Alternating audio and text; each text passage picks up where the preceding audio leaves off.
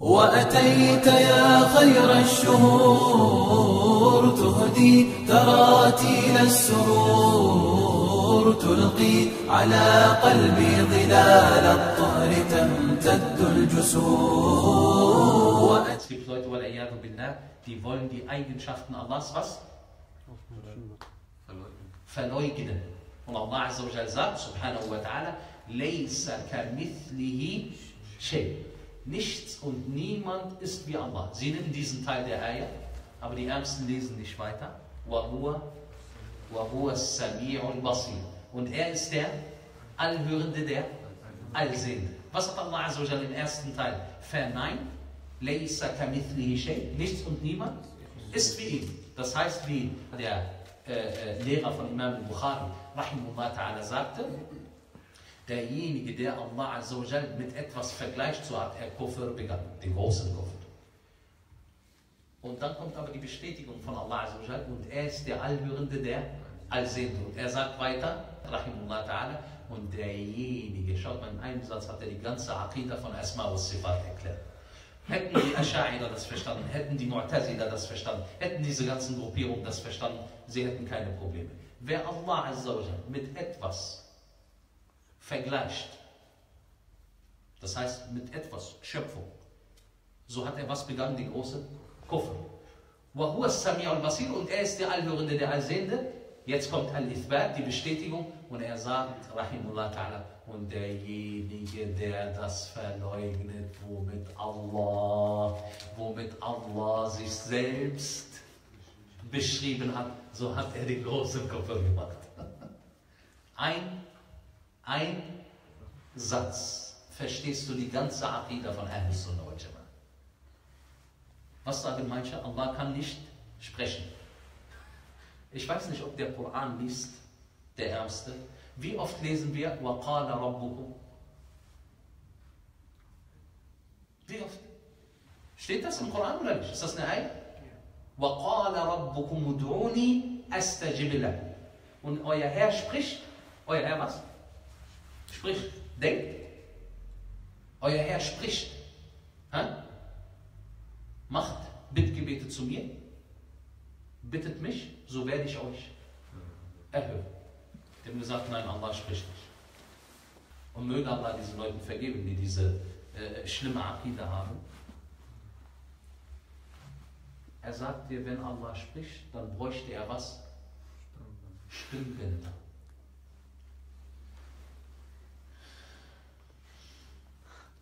Sag mal, hast du nicht verstanden? Allah ist nicht wie, wie du. Laysa kamithlihi. Das, womit er kommt, ist ein Beweis gegen ihn. Nichts und niemand ist wie Allah und er ist der Allhörende. Allsehende. Er sagt dir, Allah sieht nicht. Allah, er hört nicht. Was hat er aus Allah gemacht? Eine Götze. Und was sagte Ibrahim a.s. zu seinem irrgehenden Vater, der ein Käfer war und Götzen hergestellt hat, damit die Mushrikun diese Götzen dienen? Was sagte er zu ihm? Er sagte, Ja Abati, in Surah ähm, Ibrahim. Nee, Maryam, Barakafi. Er sagte, Ja Abati, lima ta'budu ma la yasma, wa la yubsir, wa la yughni anka shay'a. Er sagte, oh mein Väterchen, zu seinem irregehenden Vater, warum dienst du etwas, was nicht hört und nicht sieht und keinen Nutzen hat? Das heißt, das sind Eigenschaften von wem? Von einem Rabb oder von einer Götze? Von einer Götze.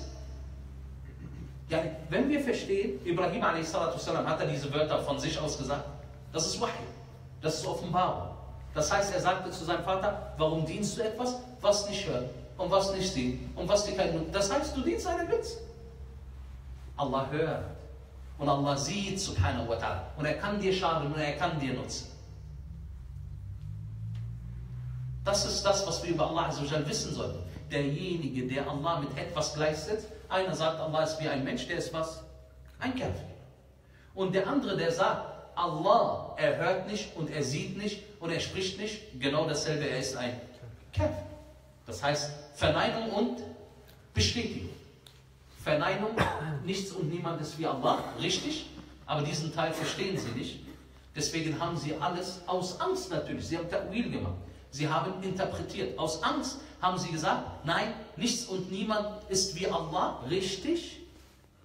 Aber weiterlesen. Und er ist der Allhörende, der Allsehende. Bedeutet hier, es ist deine Pflicht, die Eigenschaften zu bestätigen, mit denen wer sich beschrieben hat. Allah und sein Gesandter sallallahu alaihi wasallam. Und wenn Allah azza wa jal sagt, subhanahu wa ta'ala, dass er dieses oder jenes besitzt, dann besitzt er das. Und du bist still, denn Allah weiß besser, was er hat und du hast keine Ahnung, du bist entschärft. Schaut mal, subhanallah, deswegen sagen wir euch, man hört nicht von jedem. Man nimmt sein Wissen nicht von jedem. Der sagt dir, nee, Allah Azza wa Jal, er hat keine Hand. Dann sagst du, subhanallah, Allah bestätigt in nicht nur einer Eier und nicht nur zwei Eier.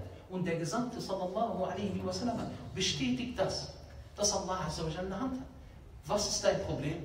Nein, wenn Allah eine Hand hätte, dann wäre er wie, wie wir. Nochmal die Eier. Leisa kamithlihi shay. Nichts und niemand ist wie Allah. Nochmal, und er ist der. Allhörender. Hören wir? Hören wir, ja oder nein? Sehen wir? Okay, jetzt Allah wie wir. Das heißt, mit anderen Worten, hat Allah was Falsches im Koran geschrieben? Hasha. Allah hat was für sich bestätigt? Dass er hört und dass er sieht und er hat noch andere Eigenschaften. Allah wird zornig, Allah lacht, subhanahu. Allah hat Eigenschaften. Was ist unsere Aufgabe? Diese Eigenschaften zu bestätigen. Und wir sagen, die Wörter diesbezüglich, die auf Allah angewendet werden und auf uns sind, diese Wörter sind gleich. Aber wir dürfen nicht vergleichen, warum wegen den Anfang der Ayah Laysa kamithlihi shay. Können wir beides miteinander vereinbaren? Ohne Problem. Walhamdulillah. Walillahi das ist die Aqidah von Ahlus Sunnah wal Jama'ah. Aber mit wem redest du? Schaut mal, Leute, die Angst gehabt haben, Allah mit etwas zu vergleichen, sehr gut, dass du diese Angst hast. Aber worin sind sie herein- hereingefallen mit dieser Angst? Indem sie danach alles von Allah verleugnet haben. Weil es könnte ja von einem Menschen sein. Der sagt dir, ja, Allah bräuchte Stimmbänder, wenn er redet. Ja, vielleicht noch eine Zunge, vielleicht noch einen Mund. Ich meine, überleg doch mal über deine Aussage. Allah ist Allah und die Menschen sind die Menschen. Eine Frage. Haben wir Wissen? Wir haben etwas an Wissen, was Allah uns gegeben hat. Und Allah hat Wissen. Das Wort ist das. Wollen wir vergleichen zwischen dem Wissen von Allah und unserem Wissen?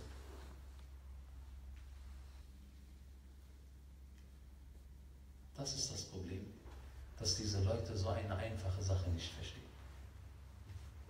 Dann haben sie zum Beispiel Hand übersetzt mit was? Mit Macht. In einer Eier sagt Allah Azza er hat Adam alayhi wassalam weh erschaffen mit seinen Händen. Beiden Händen. Also hat Allah zwei Mächte. Wir kommen jetzt langsam durcheinander. In einer Überlieferung bei Bukhari und Muslim kam ein Rabbiner zum Propheten sallallahu alaihi wasallam und sagte zu ihm, ein Rabbiner, ein Jude, er sagte, ja Muhammad, sallallahu alaihi wasallam. Er sagte das natürlich nicht. Wir finden in unserer Taurat, dass Allah am Tage der Auferstehung die Himmel auf einen, auf einen Finger nehmen wird und die Erden auf einen Finger und das Erdreich auf einen Finger und die Seen auf einen Finger und die gesamte Schöpfung auf einen Finger. Wie viele Mächte haben wir jetzt? Warte mal, eins, äh, zwei, äh, drei, äh, vier, äh, kommen wir langsam durcheinander. Hä? Schaut mal, sie wollten dieses nicht bestätigen, was Allah für sich selber bestätigt hat und sind dadurch reingefallen, wo? In den Kuffer, bis einer von diesen irregehenden Ahbash sagte, ich habe das selber von ihm gehört, er sagte, wer bestätigt, dass Allah eine Hand hat, ist ein Kafir. Also Alhamdulillah, Allah hat das bestätigt. Allah hat das bestätigt im Koran, oder? Das heißt, weil wir an den Koran glauben und die Aussage Allahs so nehmen, weil Allah die Eigenschaften für sich selber bestätigt hat, sind wir jetzt Kuffar.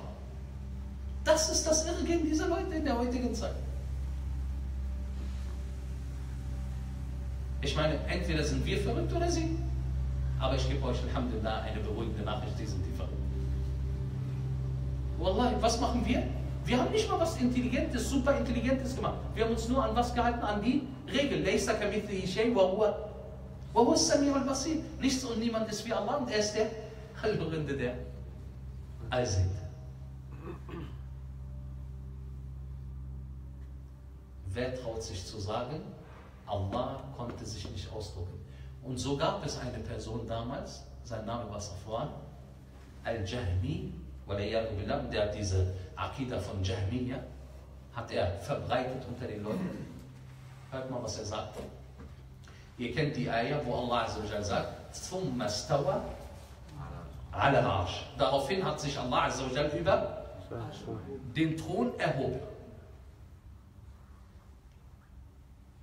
was er sagte, Subhanallah, Wallahi, wenn du irregehend bist, dann merkst du nicht mal, dass du den größten aller Kuffer gemacht hast.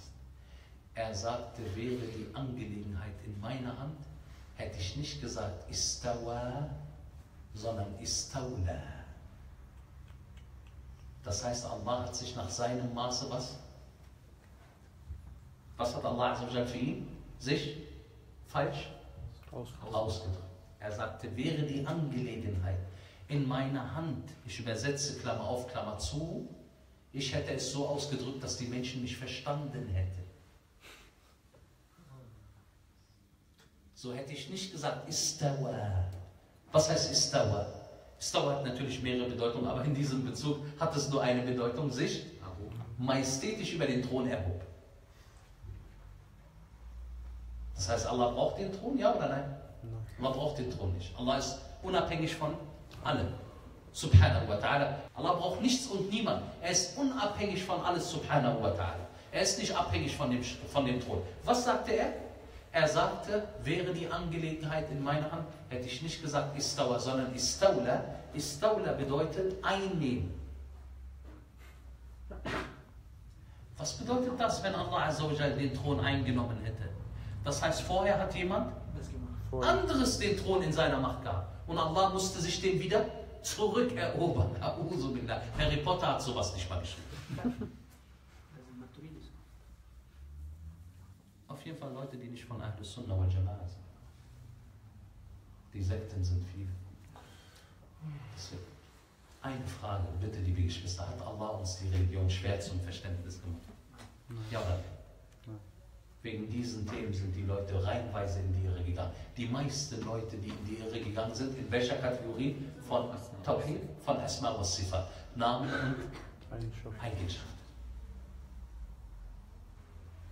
Alhamdulillah, Sunnah, wir bestätigen alle Eigenschaften, aber wir fragen niemals nach dem Wie.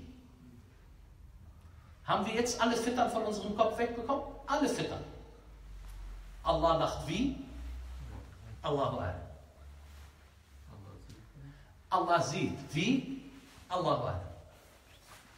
Und die Überlieferung, äh, ich denke, sie ist bei Abu Dawud und äh, Al-Zahabi rahimullah ta'ala und Al-Hakim und äh, Sheikh Al-Albani rahimullah ta'ala und Ibn Hajar al-Asqalani sagen, sie ist sahih, dass der Prophet sallallahu alaihi wasallam, als er die Eier gelesen hat von Surat An-Nisa und von einer anderen Surah, وَكَانَ اللَّهُ سَمِيعًا basira. So hat der Prophet sallallahu alaihi wasallam, als er diese Eier gelesen hat, und Allah azza wa passt auf, keiner wird hier nicht und Allah war.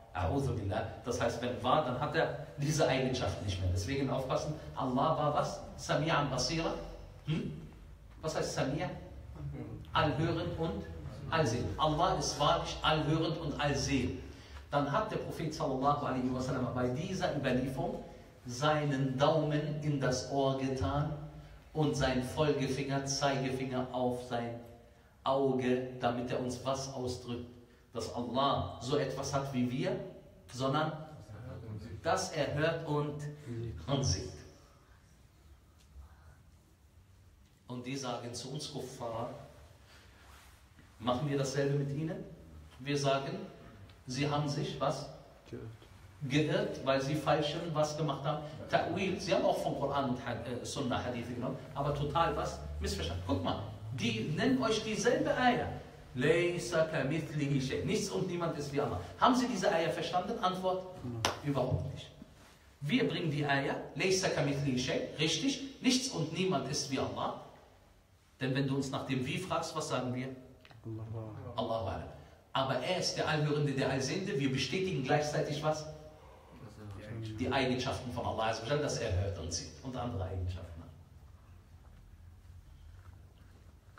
hat. Sagt Alhamdulillah, dass Allah uns die Aqidah von Ahl Sunnah wal Jama'a verständlich gemacht hat.